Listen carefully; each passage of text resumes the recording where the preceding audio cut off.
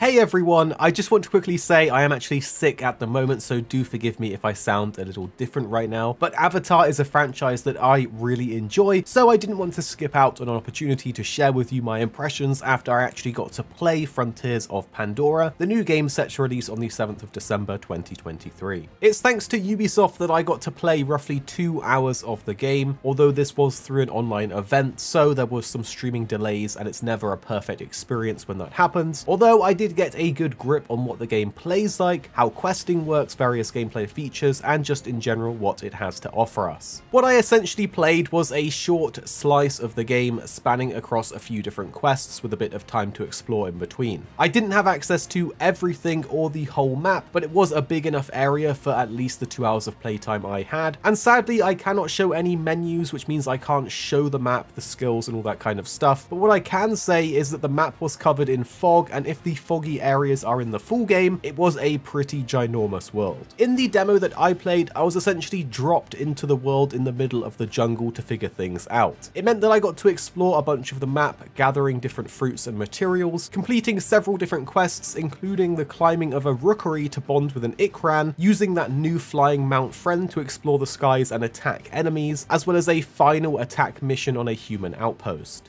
First up, I'm going to start with the world itself, including the different layers of things that go into that, like the music, the atmosphere, graphics, and wildlife. This is make or break for me when we're talking about Avatar, a franchise that is all about the amazing and unique world of Pandora, which in the movies has some really incredible areas, scenes, creatures, and culture. Now, I certainly haven't played enough of the game to make any final decisions, but overall, I was impressed with how the world actually is executed. Graphically, it looked pretty good. You can see the gameplay footage here, and while I was playing it, there was pixelation from the streaming service, but the actual gameplay does look pretty nice. The fauna and flora really does make the world feel quite alive and dense. Interacting with other Na'vi was pretty interesting too and felt very immersive and there seems to be new clans that we will experience. And the music was definitely top notch if you find yourself really enjoying the musical scores from the movies. It certainly all fits in thematically and makes you feel like you are in Pandora. The graphics and overall atmosphere were good. I think it's going to be a lot of fun exploring this whole map, especially if you really do love the franchise. So overall, I was impressed by just the visuals, the glowing plants, the different fauna and flora that the world had to offer. But now let's talk a bit about the gameplay. There was a variety of different weapons that you can use from Na'vi more primal weapons to the RDA's more advanced weapons, offering a more primitive or advanced option depending on how you want to fight. I didn't get to experience all of them, but the RDA's M69 assault rifle was pretty powerful and felt good to use, although it did run out of ammo quite often. Meanwhile, the different bow options for the Na'vi felt pretty nice nice and tactile, but again, you did run out of ammo quite a lot, so you will have to be doing a lot of gathering to then craft those ammo types.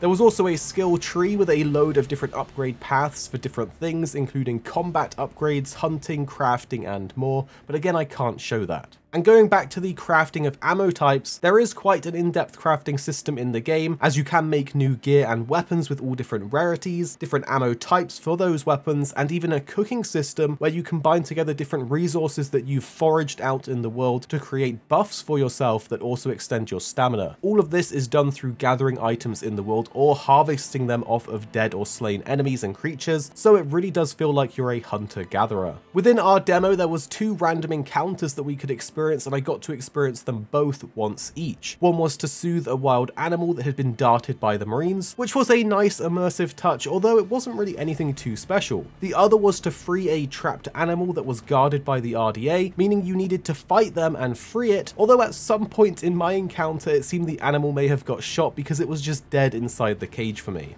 It was definitely interesting playing as a Na'vi, especially in a first person perspective. A lot of the time it was quite easy to forget that you were playing one of the Avatar Na'vi people. This is purely because you're playing in first person. Whereas when you jump on your Ikran and start flying around, you get that third person camera and it feels so much more immersive like you're in the world of Pandora. And when you are on that Ikran, you feel absolutely giant with enemy helicopters and vehicles seeming quite small in comparison to you because as a Na'vi, you are a pretty big creature. So fighting human enemies is actually pretty interesting because they are a lot smaller than you. But it does make me wish that they overall went with a third person camera perspective for all of the gameplay, as I just feel it would be a bit more immersive and it would be nice to see your avatar character more often. Another thing that stands out to me was the gathering minigame that you would play when you were foraging for resources. You had to spin the analog stick and find the sweet spot in order to pull the fruit or the item off of what you were gathering, and it would affect the rarity of the material.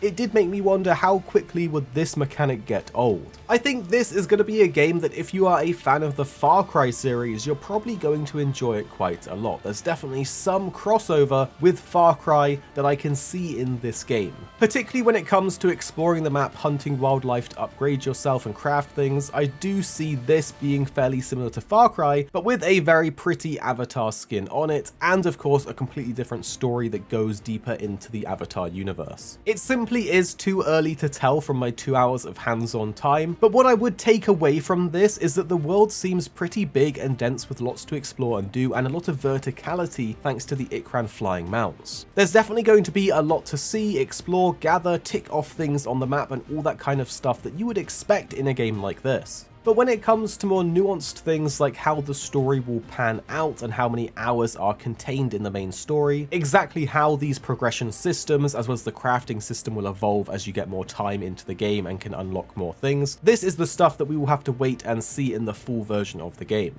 But from my brief time playing and as a Avatar fan, I definitely did enjoy what I got to experience. I do stick by my idea that a third person perspective camera would add more immersion to the game and just make you feel more like you are a Na'vi in Pandora and I'm definitely intrigued to see how the different progression systems in the game actually work as you get further and further, and how many hours there will be to experience within the title. But if you are a fan of other Ubisoft games, such as the Far Cry series, I think Frontiers of Pandora is going to be one that you just might enjoy.